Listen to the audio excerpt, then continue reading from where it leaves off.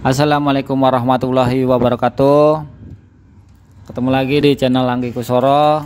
Dalam kesempatan kali ini kami ingin membahas Mengapa steker AC selalu berkaki tiga? Mengapa tidak berkaki dua seperti steker barang elektronik lainnya? Nah Jadi di sini yang dimaksud adalah grounding ya. Selain fase dan netral ada juga grounding Kaki ini dihubungkan ke perangkat yang banyak menggunakan komponen seperti AC itu sangat penting ya.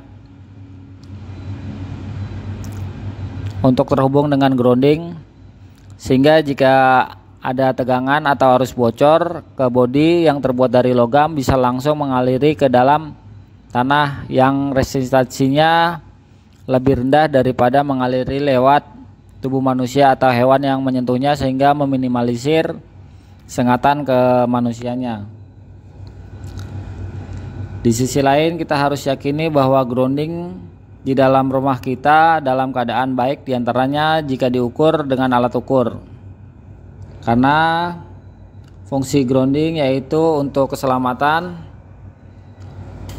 untuk penghantar listrik dan juga untuk pengaman perangkat listrik lainnya. Oh iya jangan lupa